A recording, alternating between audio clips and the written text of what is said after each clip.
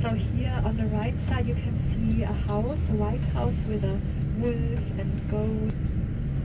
Probably you recognize Hansel and Gretel. Then left side the animals from Bremen Town playing the music. They will appear again to the left. A donkey, dog and cockerel. And right side there are also some others. Puss in Boots, the cat with the long boots. Or here left side again. I think we all know this one.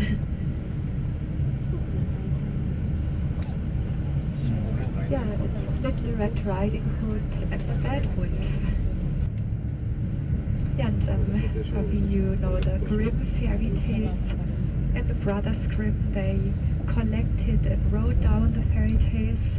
So um, yeah, they are also said to have been the fathers of German um, language because they created the first German dictionaries.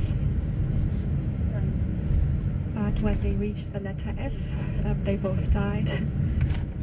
but um, the dictionaries could still be completed.